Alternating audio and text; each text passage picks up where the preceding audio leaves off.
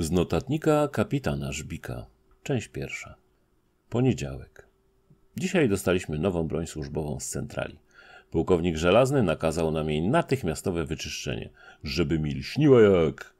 Nie dokończył i wyszedł do toalety. Próbowałem wielu papierów ściernych, ale rdza z mojej nowej finki nie schodzi. Wtorek.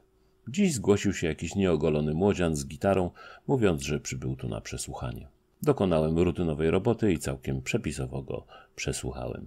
Przyznał się do wszystkiego. Zdziwił się tylko, że nie kazaliśmy mu grać i śpiewać, bo według niego to właśnie się robi na przesłuchaniach w studiach nagrań. Wyprowadziliśmy go z błędu, mówiąc mu, że trafił na komisariat. Młodzian zemdlał. Kiedy leżał powalony niemocą, cała komenda wykonała brawurowo utwór Bez same muccio. Kapral Klucha grał na grzebieniu. Środa. Gramy w rosyjską ruletkę. Cudem przeżyłem. Posterunkowy paproch, zamiast zostawić jedną kulę, wyjął tylko jedną z magazynka.